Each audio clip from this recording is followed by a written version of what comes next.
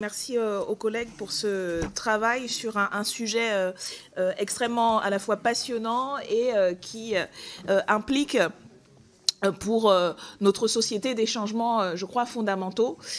Comme l'ont dit, je pense, plusieurs collègues, il y a un enjeu fort dans le développement de l'intelligence artificielle générative, et pas simplement sur la, question de, de, la protection des données, mais en fait, c'est quel usage, à quel usage vont être vont être euh, euh, mises les, potentialités de, ces développements euh, technologiques et surtout quelle est la vision de la, société que nous, portons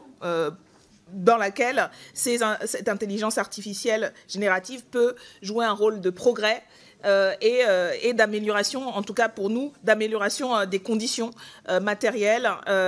pour le plus grand nombre. Et de ce point de vue-là, en tout cas, nous avons une approche qui considère que ça peut être et ça devrait être des techniques qui sont développées pour le bien commun et qu'il faut un investissement, y compris public, euh, massif, euh, pour cela, pour euh, encadrer et pour faire en sorte que ce soit utilisé à bon escient. Et c'est pour ça que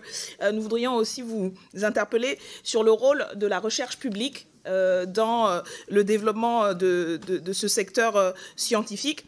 y compris en matière de recherche, pas simplement technique, informatique, mais comme l'a dit notre collègue tout à l'heure sur les sciences sociales, les sciences humaines, voilà l'implication que le développement de ces techniques devrait avoir et a déjà en fait sur notre société et bien sûr sur le développement technologique parce que ça pose aussi la question justement de la souveraineté, de la capacité à euh, développer dans le domaine public, euh, avec des moyens publics et du coup avec un contrôle public euh, ces techniques nous assurent une souveraineté sur, sur, sur elles et qui nous semble fondamentale.